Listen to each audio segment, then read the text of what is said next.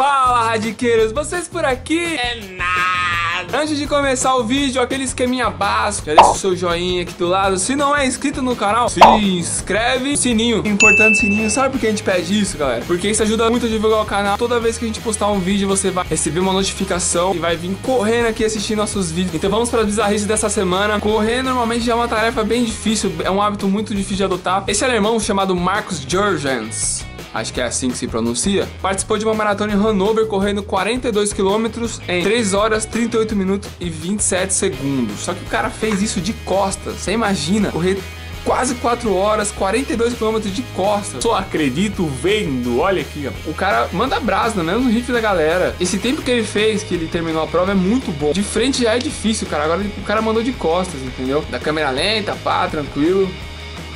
Oh! Cara, muito curioso. Realmente os alemães estão se superando. Cada vez é uma coisa nova, é uma humilhação nova. Esse praticamente é um 7 a 1 pro mundo. Imagina correr sem saber o que tá vindo por trás, cara. Pô, sei lá, vai que você encontra um Usain Bolt fazendo raio, ou então o Mike Tyson paradão aqui, ó. Ou um cone mal intencionado. Mas Salva de palma pro alemão, mano. Vamos pro próximo. Não, e esse lance no campeonato tailandês? Duas equipes locais se empataram um tempo normal em 2 a 2 e após 19 cobranças, 19 a 19 para cada lado, no último pênalti, com o goleiro batendo, olha o que aconteceu nessa cobrança.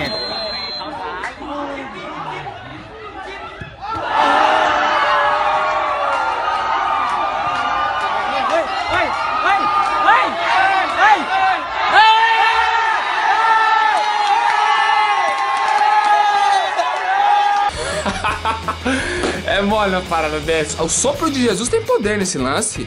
Foi um sopro de Deus ali, rapaz. Pois é, galera. Tudo que sobe, desce. E às vezes desce com efeito. Pô, que zica, mano. Ah, se isso acontece com o meu time, eu ia ficar puto, velho. Eu ia pro estádio, mano. Toda vez que tivesse pênalti, ia levar uma biruta pro cara saber onde tá ventando, mano. Ia ficar o tempo todo assim, velho. E na China eu acabei de descobrir por que, que eles estão pegando só jogadores top de vários times do mundo, inclusive aqui do Brasil, porque os jogadores da base simplesmente têm que lidar com isso.